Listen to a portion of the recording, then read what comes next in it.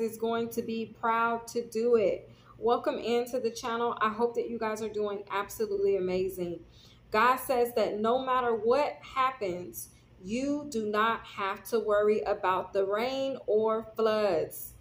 The rain and the floods have quotes around them. This could be actual rain or floods, or this could be hypothetical rain or floods. The path will always be clear for you. It will always be cleared for you, viewer. This is a part of your prophecy. It's a part of the prophecy. Community is very significant. If I was to be pulling from the Wisdom of the Oracle card deck, community card would come out. You could have the respect of those that are in your community. There's a side note that I have to tell you. The ones who defaced the Stonehenge will be smacked down by God. He showed me that he was angry about what they had done to devour, defile a sacred place.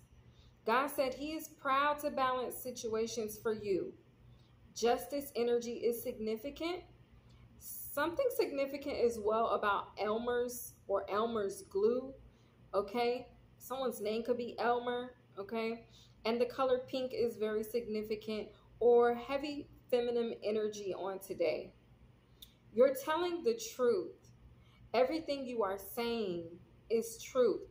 This is what I heard God speak into my spirit on yesterday. He said, You are telling the truth.